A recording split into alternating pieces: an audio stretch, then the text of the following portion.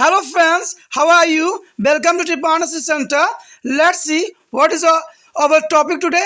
What is a food? First of all, question here, what is a food? The food is any substance which perform to the following function on the body. your energy for the life processing, build up to new cells during to the growth and the repair worms out of damaged tissue and net production of useful body of compound. So friend here the as a food is the most important for the living organism so here is the biological classification of the food.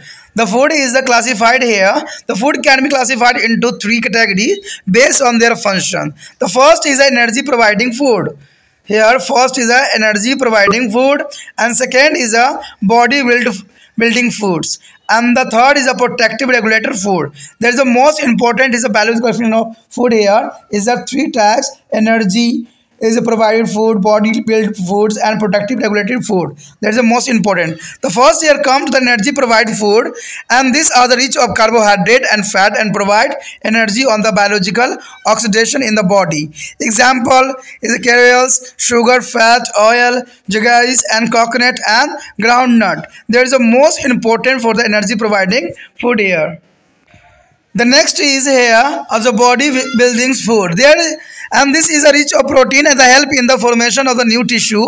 Example, milk, eggs, meat, fish, pulses and the nut and the oil seed. that is the most important for the building is the body building foods. There are egg, meat, milk, fish, pulse and the nut is the most important here.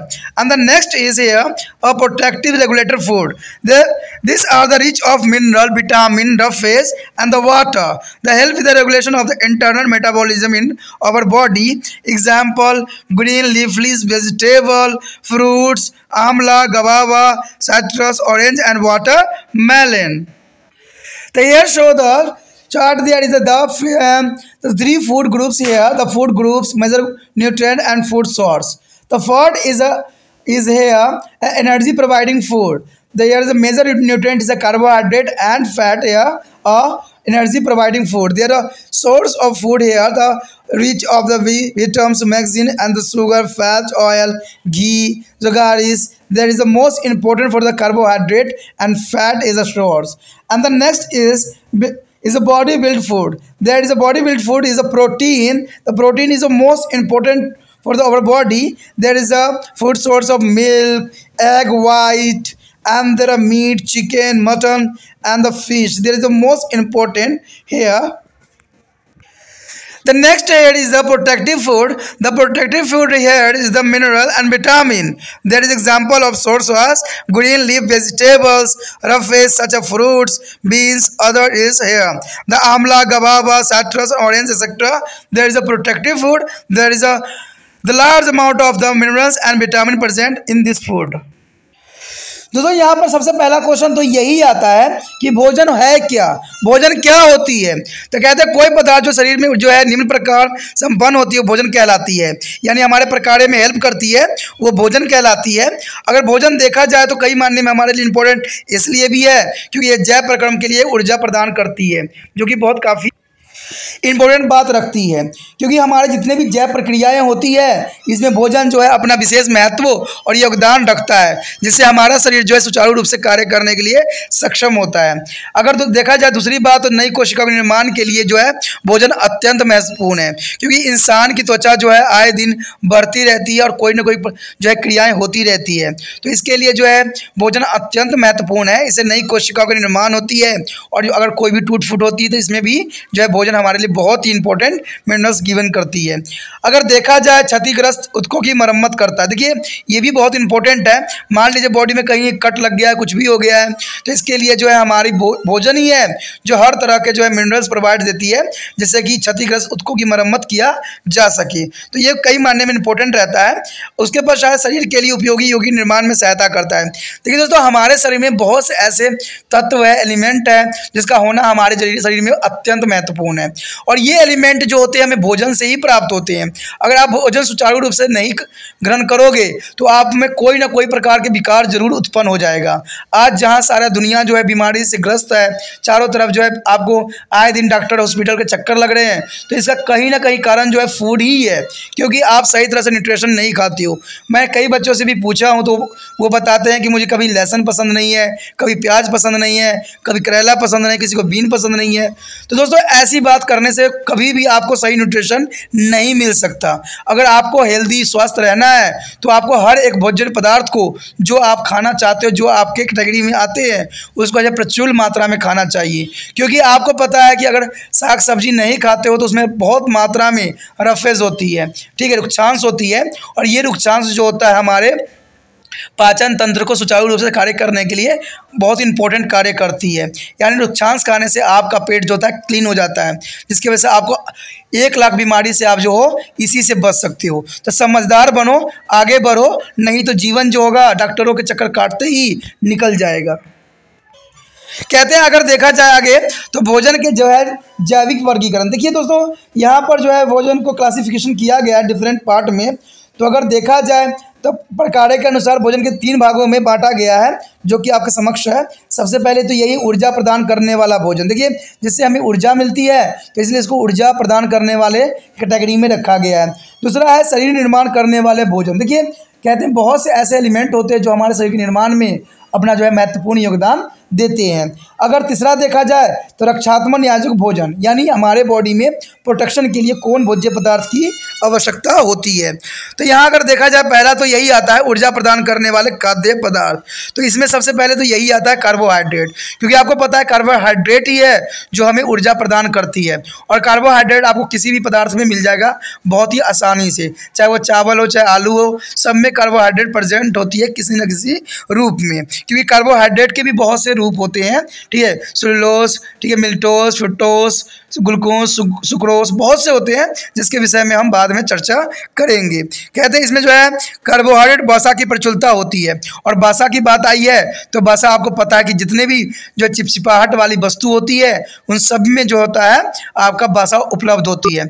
Generally बात देखा जाए तो अगर आप oil खाते हो, चाहे घी खाते हो तो उसमें जो है बासा प्रचुर मात्रा में उपलब्ध होता है। आपने देखा होगा कि रोटी अगर आप तीन खा लेते हो तो आपके दोपहर तक आपको भूख लग जाती है। लेकिन वही अगर दो, तीन अगर पूरी खा लेते हो, तला हुआ पूरी खा लेते हो तो आपको सारे दिन भूख नहीं लगता। कारण यही होता है कि उसमें कई मात्रा में जो होता है फैट चला जाता है और ये फैट जो है, जल्दी हमारे शरीर को जो है ऑब्जॉर्ब नहीं करता है और इसको ऑब्जॉर्ब करने में कई घंटे, कई समय लग जाते हैं, इसलिए हमें जल्दी भूख नहीं लगता है।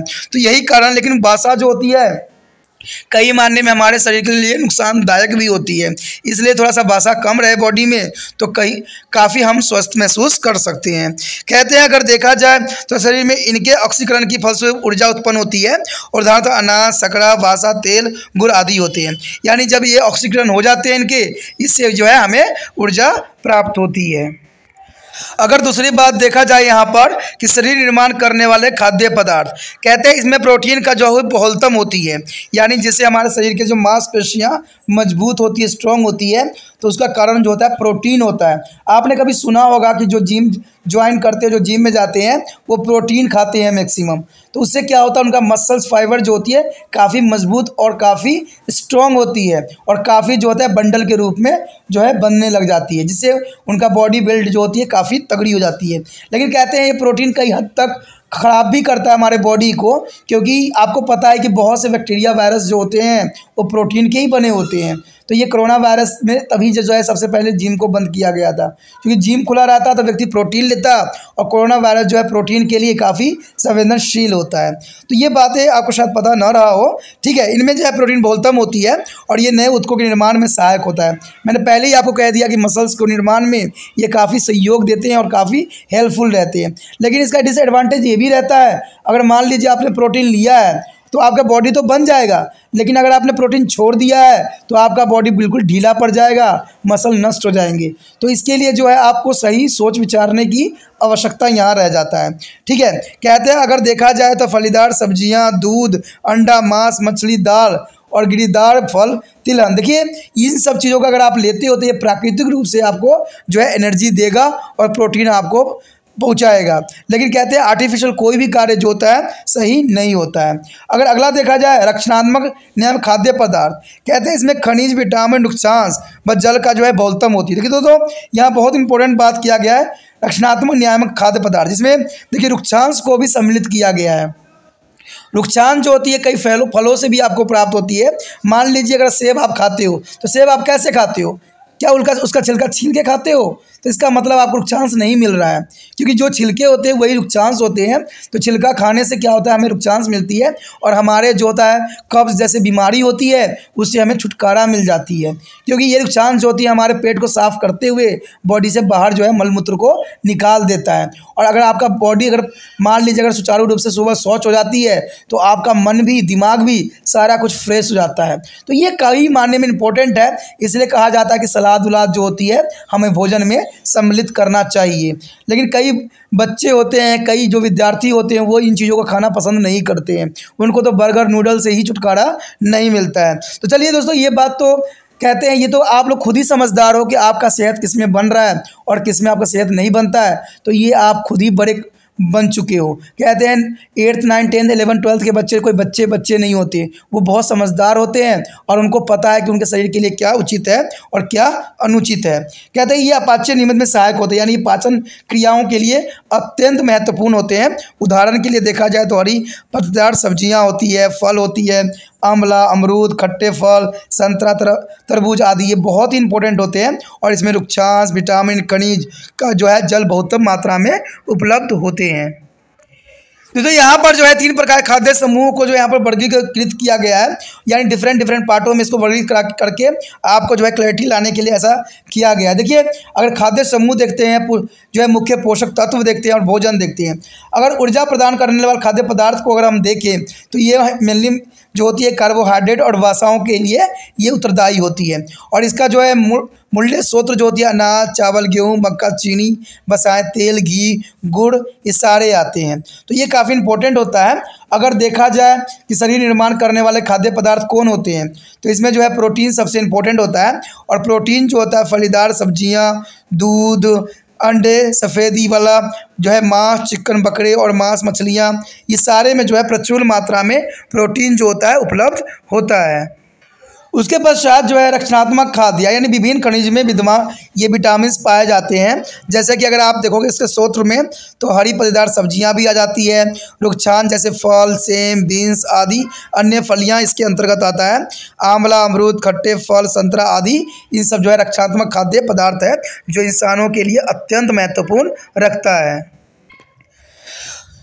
तो next topic is nutrition the nutrition is most important topic The nutrition is a sum of the process by which an organism take in a metabolism and utilize a food substance for its uh, various biochemical activity. The nutrition is here is most important. The nutrition is the sum of the process by which the organism take in the metabolism and utilize the food substance for its uh, various biochemical activity.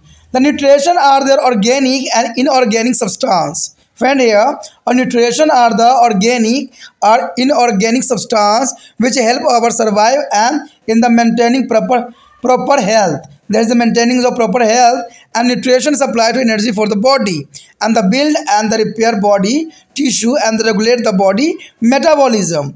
And here, on the basis of quality required for the body, nutrient are classified in the two category. The first is a macronutrition and the next is a micronutrition. There is a difference between the macro and the micro. There is a MACR, macronutrition. But here, MICRO. The macro here, the macro is a, la is a large amount of substance. But micro means MICRO, there is a less amount of nutrition is need for the our body. You understand? The M uh, MACRO here is a large amount of nutrition in our body needs and the MICRO macro is a less amount of the nutrition in required of our body. There is a first is a macronutrient. There a macronutrient is required is a large amount. Here the carbohydrate, fat, protein and water content in the food comprise of the macronutrient.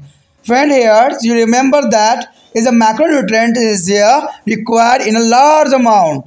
That is called macronutrient. but micronutrient here nutrient required to a small amount there are vitamins and the minerals form only a small fraction of the total weight of the food that is the most important here and the one molecule glucose here 38 uh, is the atp molecules there is the most important here the one molecules of glucose here to 38 atp molecules. Here the 36 molecules. Here are aerobic. And aerobic is the two molecules. I have already learned the previous chapter. And the one moles of glucose yard or 38 into 34 there is a totally of is a 1292 kilojoule upon complete bio is biological oxidation here. There is a more important यहाँ पर जो हमारा अगला topic है पोषण। देखिए, पोषण का मतलब जो है न्यूट्रिशन कहते हैं पोषण होती क्या है? कहते हैं पोषण उन सभी प्रक्रियाओं का योग है जिसके कारण जो है कोई प्राणी खाद्य पदार्थ को आत्मसात करके अपचान की जो है विविध जैविक रासायनिक क्रियाएँ संपन्न करती है। खाद्य पदार्थों का उपयोग करता है। देखा जाए तो खाद्य जो है, खाद्य पदार्थ जो होता है न्यूट्रिशन बहुत ही इंपॉर्टेंट होता है, क्योंकि इसी से जो है हमारा शरीर का जो है सुचारू रूप से निर्माण होती है और हम जो है किसी भी कार्य करने में सक्षम होते हैं। इसलिए पोषण जो है हमारे शरीर के लिए अत्यंत महत्वपूर्ण माना जाता है। तो आप इस प्रकार भी लिख सकते हो। कहते हैं पोषण कार्बनिक और अकार्बनिक पदार्थ होते हैं। यानी देखा जाए तो इसमें ऑर्गेनिक इनऑर्गेनिक जो है सब्सटेंस मिले हुए होते हैं और ये हमारे शरीर के निर्माण के लिए अत्यंत महत्वपूर्ण योगदान देते हैं, जो कि हमारे अस्तित्व को बनाए रखने और अच्छे स्वास्थ्य के लिए काफ़ी सहायक भी सिद्ध होते हैं। अगर देखा जाए पोषक पदार्थ शरीर की ऊर्जा प्रदान करते हैं और शरीर के उत्कों का निर्माण भी करते हैं और मरम्मत भी करते हैं और शरीर को जो है अपाचे का नियमित भी करते हैं। देखिए दोस्तों कहते हैं पोषक पदार्थ जो होता है कई मानने में हमें कई प्रकार की ऊर्जा प्रदान करता है। और मान लीजिए एक दिन अगर आपने खाना नहीं खाया है तो आप काफ़ी कमज़ोर महसूस करोगे। बेशक लिए आपका शरीर जो है एनर्जी रिलीज़ कर देगा, लेकिन आप काफ़ी कमज़ोर महसूस करोगे। कारण क्या होता है कि आपने भोज्य पदार्थ नहीं लिया है। लेकिन फिर भी इंसान की मृत्यु नहीं होती है। कारण ये होता है कि हमारे शरीर में जितने भी फैट होते हैं, वो आपको एनर्जी जो है समय समय पर प्रोवाइड्स कर देता है। इसलिए कहा जाता है कि हमें सुचारू रूप से भोजन करना चाहिए और उतना ही कार्य करना चाहिए, क्योंकि फैट भी हमारे लिए काफ़ी नुकसानदायक सिद्ध होता है। तो ये इसी के लिए कहा जा सकता है कि पोषण पदार्थ शरीर को ऊर्जा प्रदान करता है और शरीर के उत्कों का निर्माण करने में इसका जो है अत्यंत महत्वपूर्ण योगदान रहता है। साथ में शरीर में जो अगर कोई टूट फूट हो जाती है, किसी तरह के क्षतिग्रस्त होता है तो इसकी मरम्मत के लिए भी जो है हमारे जो है पोषक पदार्थ जो है काफ़ी सहायक सिद्ध होते हैं। और साथ में अपचाय प्रक्रिया के लिए भी जो है पोषक पोषण कई कई माने में इंपॉर्टेंट है। अगर देखा जाए यहाँ पर तो शरीर के लिए पोषक तत्व की मात्रा की आवश्यकता का उन्हें दो वर्गों में बांटा गया है। एक जो है स्थूल पोषक, एक है सूक्ष्म पोषक। देखिए, स्थूल पोषक का मतलब होता है माइक्रो न्यूट्रिशन एंड सूक्ष्म पोषक तत्व का मतलब होता है माइक्रो अब सोचिएगा कि इसमें माइक्रो दोनों वर्ड एक जैसा ही उच्चारण में लग रहा है। दोस्तों, इस उच्चारण में जैसा ही बट इसमें थोड़ा डिफरेंस है। डिफरेंस सिर्फ़ इतना सी है कि एक में आई है और एक में ए है, ठीक है?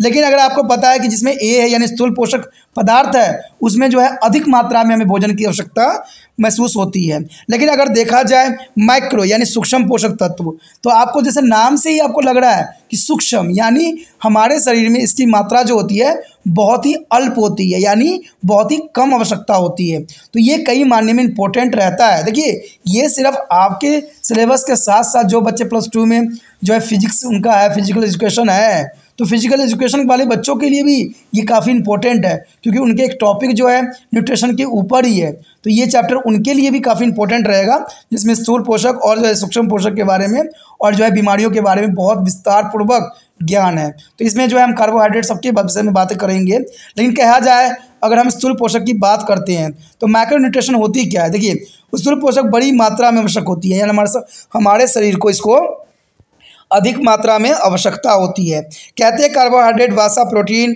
एवं खाद्य पदार्थ में निहित जल पोषक कहलाता है और ये हमारे शरीर के लिए जो है काफ़ी इंपॉर्टेंट होता है क्योंकि इसमें जो है कार्बोहाइड्रेट वसाएँ प्रोटीन खाद्य पदार्थ निहित होती है और, और उचित मात्रा में विद्यमान होता है। अगर देखा जाए सूक्ष्म पोषक तो इसे जो है अति अल्प मात्रा में आवश्यक होती है, यानी बहुत ही कम मात्रा में हमारे शरीर की आवश्यकता होती है। जैसे आप सॉल्ट लेते हो तो सॉल्ट तो आप अधिक मात्रा में नहीं लेते हो ना, बहुत कम अमाउंट में लेते हो। उसी प्रकार बहुत से एलिमेंट हैं, जिसको हम बहुत ही लिटिल अमाउंट में हमें आवश्यकता होती है। ठीक है?